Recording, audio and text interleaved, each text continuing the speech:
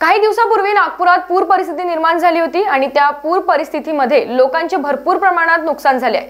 घरांचे नुकसान झाले आहे दुकानांचे नुकसान झाले दुकानात असलेल्या सामानाचे नुकसान झाले आहे या नुकसानीचे पंचनामे सुरू आहे. यावर जिल्हाधिकारी डॉक्टर विपिन इटनकर आणि महानगरपालिका आयुक्त डॉक्टर अभिजित चौधरी यांनी आवाहन केले आहे. आपल्या सगळ्यांना माहीत आहे की मागच्या दोन दिवसा अगोदर ढगफुटीमुळे खूप मोठ्या प्रमाणामध्ये पूर परिस्थिती निर्माण होऊन जे लो लाईंग एरियामध्ये लोकांच्या घरामध्ये पा पाणी शिरून बऱ्यापैकी डॅमेज झालेला आहे. मी आपल्याला सांगू इच्छितो की मागच्या दोन तीन दिवसापासून सगळ्या टीम्स आपल्या जवळपास कॉर्पोरेशनच्या आणि महसूलच्या जवळपास पंचावन्न छप्पन टीम्स कॉलनी कॉलनीत जाऊन घराघराचे पंचनामे याच्यामध्ये करत आहे. पुढच्या दोन दिवसामध्ये सगळे पंचनामे संपणार आहे.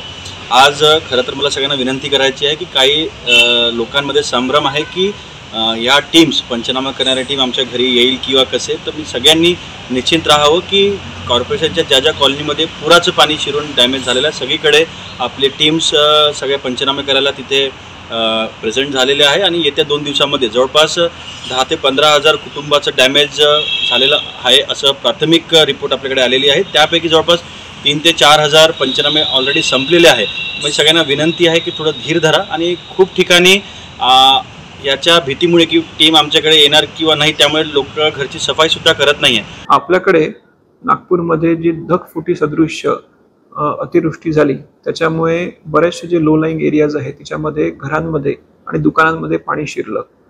तर याच्यामुळे जे लोकांचं नुकसान झालेलं आहे त्याचे पंचनामा करण्यासाठी जिल्हाधिकारी महोदयांकडनं रेव्हेन्यू स्टाफ आणि महानगरपालिकेच्या स्टाफचे साधारणतः पन्नास टीम्स ज्या आहेत त्या नियुक्त करण्यात आलेल्या आहे या टीम्स त्या त्या एरियामध्ये येऊन आपल्या जे नुकसान झालेलं आहे त्याचा पंचनामा करणार आहे. काही त्यांना जे डॉक्युमेंट्स लागतील ते तिथून घेणार आहेत. तर या नुकसानीच्या पंचनामा हा स्पॉटवर होणार आहे.